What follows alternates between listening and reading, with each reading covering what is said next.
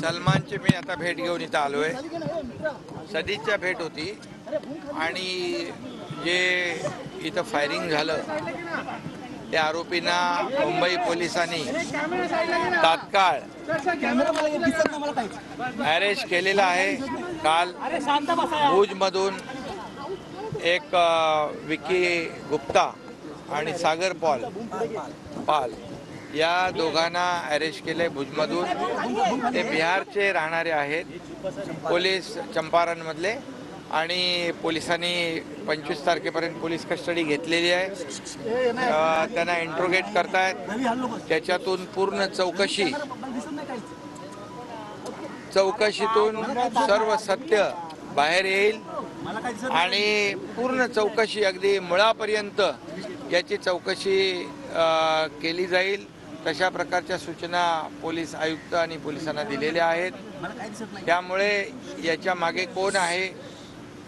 त्याला पूर्णपणे तिथपर्यंत पोलीस शोध घेतील चौकशीमध्ये आणि कठोर कारवाई पोलीस त्याच्यावर करतील. यापुढे अशा प्रकारची हिंमत कुणालाही करता कामा नये अशा प्रकारची जरब पोलीस त्यांच्यावर बसवतील. आणि त्याचबरोबर त्याचबरोबर सलमान खानच्या नातेवाईकांना सलमानला पोलीस सुरक्षा वाढवण्याच्या सूचना पोलीस आयुक्तांना मी दिलेल्या आहेत. त्याप्रमाणे कुठल्याही परिस्थितीमध्ये सलमान खानला मी भेटलो त्याला सांगितलं दिलासा दिला.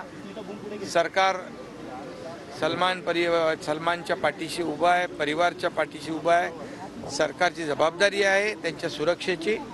आणि पुन्हा या ठिकाणी अशा प्रकारचं धाडस कुणी करू नये याची सर्व काळजी सरकार घेईल. हिंदी में हिंदी में जानना चाहिए सर। क्या बातचीत हुई पूरे केस के बारे में? सलमान का क्या रिएक्शन था आपसे मुलाकात के बाद? नहीं सलमान को मैंने सलमान की भेंट हुई है और उनको मैंने कहा है पूरी सरकार आपके साथ है। जब यह हादसा हुआ था तब मैंने पुलिस कमिश्नर को तुरंत सुबह ही सूचना दी थी जल्द से जल्द ये पुलिस कार्रवाई करे और इनको अरेस्ट करे। तो कल ही इनको भुज में से अरेस्ट हुआ है, दोनों को विकी गुप्ता और एक सागर पाल, जो चंपारण बिहार के हैं। उनकी पुलिस कस्टडी है अभी और पुलिस कस्टडी में पूरी तरह पूछताछ होगी और इसकी पूरी जड़ तक ये केस जानी चाहिए और जो भी इसमें शामिल है, उसको बिल्कुल उसके ऊपर कड़ी कार्रवाई होगी, किसी को बख्शा नहीं जाएगा। फिर से ऐसी हिम्मत मुंबई में किसी के ऊपर ना करे ऐसा पुलिस कार्रवाई सर अंडरवर्ल्ड सूचना दिया। अंडरवर्ल्ड एक तरह से खत्म हो चुका है लेकिन क्या इस तरह से लॉरेंस बिश्नोई गैंग फिर से एक जो वैक्यूम क्रिएट हुआ है उसको भरने की कोशिश इस तरह से कर रहा है? कैसे इस पे लगाम लगेगी? ये महाराष्ट्र है ये मुंबई है इसमें अभी कोई गैंग वांग नहीं है। ये पूरा अंडरवर्ल्ड खत्म हो चुका है और ये बिश्नोई बिश्नोई को कोई भी खत्म कर देंगे हम लोग बिल्कुल।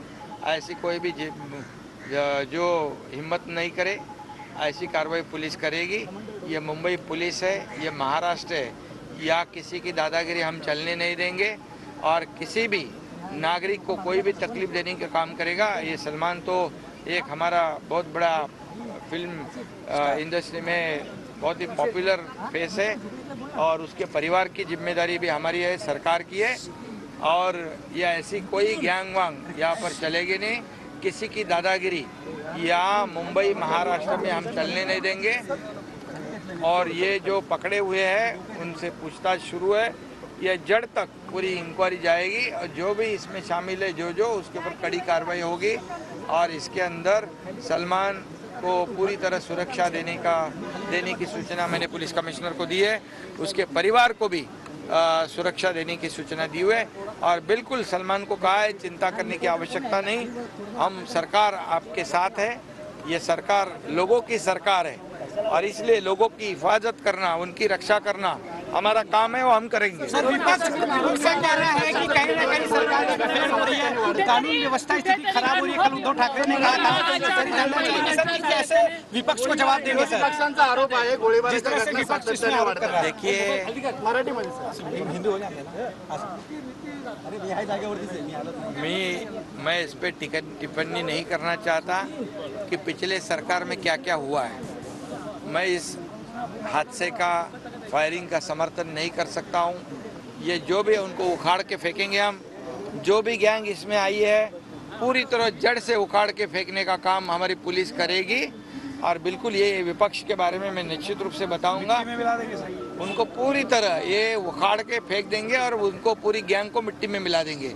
ऐसी हमारी पुलिस है और ऐसी हमारी सरकार है।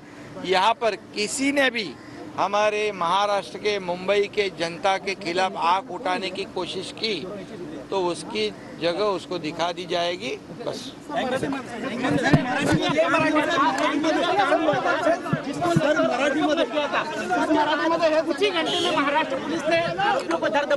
नहीं नहीं, ये तो पुलिस पुलिस का अभिनंदन करना चाहिए कि तुरंत कुछ ही घंटों में आरोपी को पकड़ा गया है। और आरोपी को पकड़ा गया है इंट्रोगेट करेंगे उसमें जो भी शामिल है उसको पूरी तरह मिट्टी में मिला देंगे उखाड़ के फेंक देंगे। Thank you sir thank you thank you